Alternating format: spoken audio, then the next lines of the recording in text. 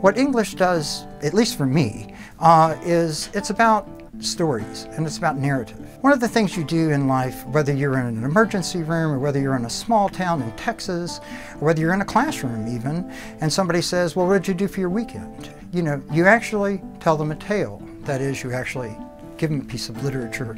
Literature puts me inside of other people's heads and it allows them into my head. And so it seemed like a great vehicle for doing that. When I go into a classroom, one of the things I, one of the things I tell my students is that, you know, here are the things that I expect you to do for this class. But then I actually tell them, and these are the things that I will do for you.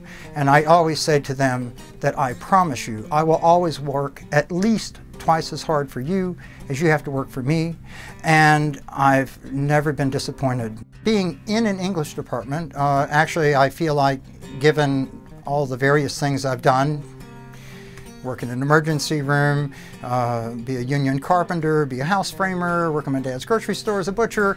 You know, I get up every morning and am just infinitely thankful for having this sort of life because it's a life of the mind but it's also a life of the passions.